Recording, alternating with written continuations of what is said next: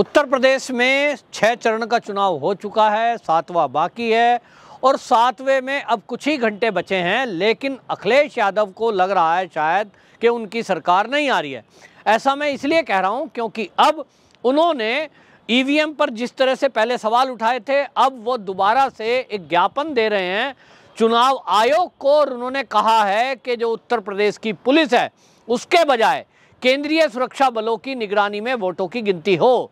वो कहते हैं कि हमको लगता है कि उत्तर प्रदेश की पुलिस अगर मौजूद रहेगी तो वो योगी सरकार का पक्षपात करेगी। अब आप एक बात समझिए, योगी जी जब से उत्तर प्रदेश के मुख्यमंत्री बने हैं उसके बाद से गिनती के पुलिसकर्मी भर्ती हुए हैं।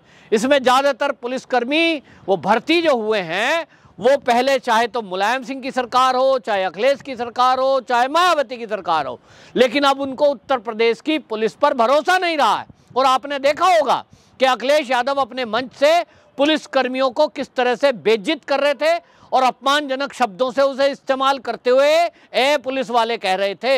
इसी से लग रहा था कि वो कितने फेडअप हैं इस बात को लेकर के पूरी ताकत लगाई और उसके बाद भी सत्ता में वापसी नहीं हो रही है। इसी बात से पता लगता है और ये विपक्ष का कोई पहली बार नहीं है। जब जब इनकी सत्ता आती है, तब तब ईवीएम ठीक होती है, तब चुनाव आयोग ठीक होता है। तब पुलिस की व्यवस्थाएँ ठीक होती है। और जब इनकी सरकार ना आ रही हो तो ईवीएम पर सवाल उठाते हैं। अब तो जनता भी इनके इस फैसलों पर, सवाल पर हंसने लगी है कि भैया, पश्चिम बंगाल में सरकार बनी, वहाँ आपकी ईवीएम ठीक थी। केरल में सरकार बनी, वहाँ ईवीएम ठीक थी। राजस्थान में सरकार बनी, वहाँ आपकी ईवीएम ठीक थी। पंजाब में सरकार बनी, वहाँ भी ईवीएम ठीक थी। दिल्ली में आप पार्टी की सरकार बनी, वो ईवीएम उस समय ठीक थी। लेकिन जब बीजेपी की सरकार बनती है, यूपी में बनी तो आप कह रहे हो कि नहीं, ईवीएम में गड़बड़ी है। अब अभी तक ईवीएम के ऊपर विश्वास नहीं करने वाली बात कर रहे हो, अब कह रहे हो कि पुलिस पे भरोसा नहीं है। ईवीएम को लेकर कितने सवाल उठाए, लेकिन अब कह रहे हैं कि जो निगरानी में पुलिस की रहेगा तो ठीक नहीं रहेगा। भैया, क्या मूड है आपका? क्या आप वहाँ झगड़ा करना चाहते हो? वो तो ना केंद्रीय सुरक्षा बल करने देंगे, ना पुलिस करने देगी। भाई, वोटों की गिनती के टाइम क्या होगा? कि बीजेपी के लोग बैठे होंगे, आपके कार्यकर्ता बैठे होंगे और वोटों की गिनती के समय में कोई आदमी अंदर तो होता नहीं है। अफसर मशीन खोलते हैं, मशीन का नंबर बोलते हैं, आपके कैंडिडेट सब बैरिकेड लगा हुआ है, उसके दूसरी तरफ़ खड़े रहते हैं। मैंने तो देखा है। और यहाँ से देख के केवल उनका देखने का मकसद ये होता है, कार्यकर्ताओं का कि जो वो अधिकारी काउंटिंग पे बैठा है, वो जो ईवीएम में बटन दबा रहा है, किस पार्टी के कितने वोट, वो जो बोलेगा बाकायदा, आप चेक करेंगे, वही संख्या ईवीएम में आ रही है कि नहीं? इतना काम है। आप कहेंगे, ये संख्या में मुझे डाउट है, दोबारा गिनती होती है। और उसमें पुलिस का रोल क्या है?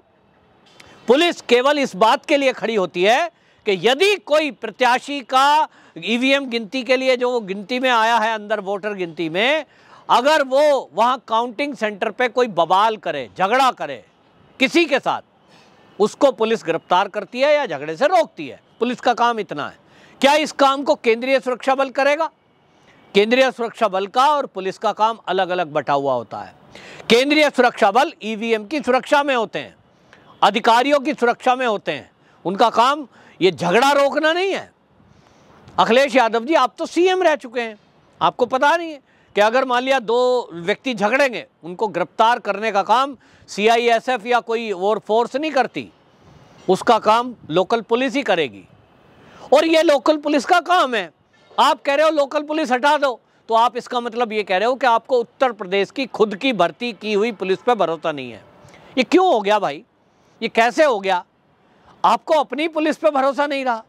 क्योंकि आपकी जो भाषा है और आपने जो कारनामे किए हैं, पता होता है ना भाई पुलिस की भर्ती करी।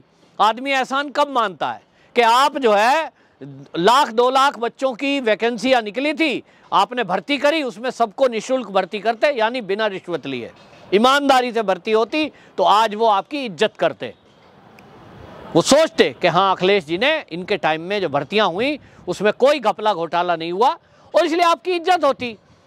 लेकिन अब वो जान रहे हैं कि आपके शासन में लिस्ट तो कहीं और ही बनती थी।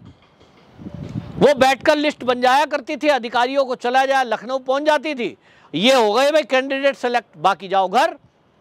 लेकिन आज योगी शासन में अगर पाँच लाख सरकारी नौकरियाँ लगी है और वो इस बात का दावा कर रहे हैं कि हमने एक भी रुपया किसी से रिश्वत नहीं ली तो वो हकीकत है, क्योंकि आज भी आप पूरा चुनाव निकल गया, पूरे चुनाव प्रचार में आप एक शब्द ये नहीं बोल पाए हैं कि योगी सरकार में भर्तियों में भ्रष्टाचार हुआ। क्योंकि अगर आप ऐसा कहते आपको प्रमाण प्रस्तुत करने पड़ते जो आप नहीं दे पाओगे। और इसलिए पुलिस भर्ती हो या प्रशासन की भर्ती हो, कोई क्लर्क की भर्ती हो या ऑफिसर की भर्ती हो, योगी सरकार में तो कोई आरोप लगा नहीं सकता। अब इसलिए लोग इज़्ज़त तो करेंगे। ट्रांसफ़र पोस्टिंग उत्तर प्रदेश का बड़ा धंधा होता था। पुलिस की भर्ती में बात अलग छोड़ दो, ट्रांसफ़र और पोस्टिंग में। या तो सिफारिश मुख्यमंत्री जी की या किसी मंत्री की, या तो मोटा पैसा। ये जो धंधा था, उद्योग, इसको योगी जी ने बंद कर दिया। योगी जी ने बंद कर दिया और इसलिए अब पुलिस के जो ट्रांसफ़र पोस्टिंग का काम है, वो आज ईमानदारी से हो रहा है। मुख्यमंत्री को तक जाने की बात ही नहीं होती। निचले स्तर पे क्या होता है, मुझे नहीं पता।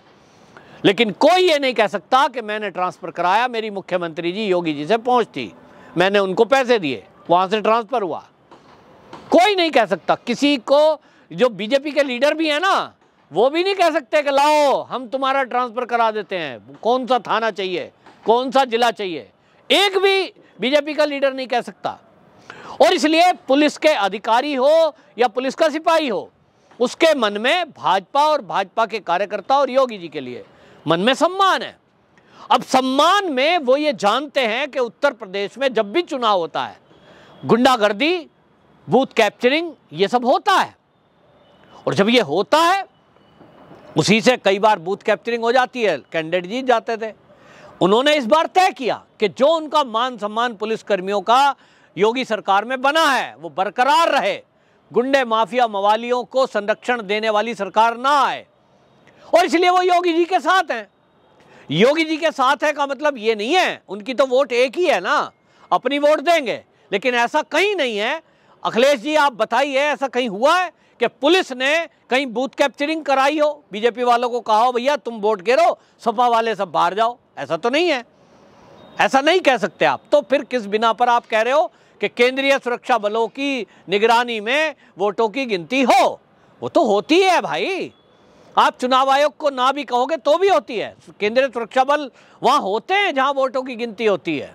लेकिन जैसा मैंने कहा वो गिनती के मामले में इंटरफेयर नहीं करेंगे।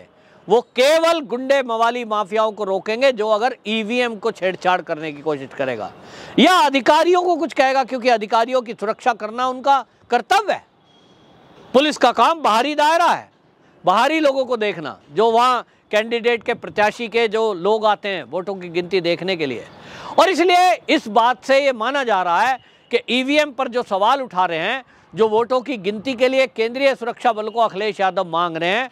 इसका मतलब ये हुआ कि कहीं ना कहीं उनको लग रहा है कि उनकी सरकार अब नहीं आ रही है। कल को जिस दिन रिज़ल्ट आएँगे 10 मार्च के बाद, जब 10 मार्च को रिज़ल्ट आएगा तो अखिलेश यादव जी कह सकते हैं, मैंने तो पहले ही कहा था, ये तो यूपी पुलिस फेवर कर गई, प्रशासन फेवर कर गया, और योगी जी ने ईवीएम में गड़बड़ी कर दी, या काउंटिंग में गड़बड़ी कर दी। मैं तो पहले ही कह रहा था कि उत्तर प्रदेश की पुलिस गड़बड़ करेगी।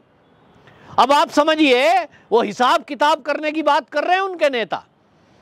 मुख्तार अंसारी का बेटा जो है, वो कह रहा है, हम हिसाब करेंगे। तो इसका मतलब तो आप कॉन्फिडेंट है ना? कॉन्फिडेंट रही है कि हमारी ही सरकार आ रही है।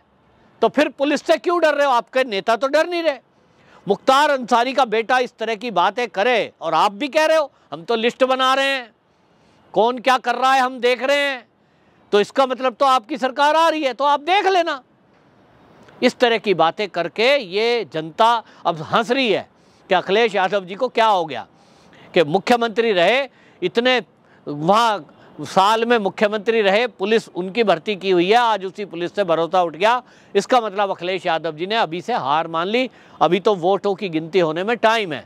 तो ये लगता है, जब कोई हारता है तो वो ईवीएम पर सवाल उठाता है, वोटों की गिनती में गड़बड़ी हुई, शासन प्रशासन उस पर सवाल उठाएगा। और जिस तरह से हम देख रहे हैं कि कई जगह हिंसा की घटना में वो स्वामी प्रसाद मौर्य ने कह दिया, जी, बीजेपी वालों ने हमारी गाड़ी पे पथराव किया। ये एक माहौल बनाने की कोशिश की जा रही है। मतलब कुल मिलाकर उत्तर प्रदेश की जनता इस समय अखिलेश यादव के ऊपर हंस रही है कि देखिए, जब योगी जी के फेवर में अधिकतर जनता खड़ी है, ऐसे में वो बहाना ढूंढ रहे हैं कि जनता के बीच जाकर क्या कहेंगे। बहरहाल ये चुनाव आयोग ने इसका संज्ञान तो लिया है एप्लीकेशन उन्होंने दी है, ज्ञापन दिया है।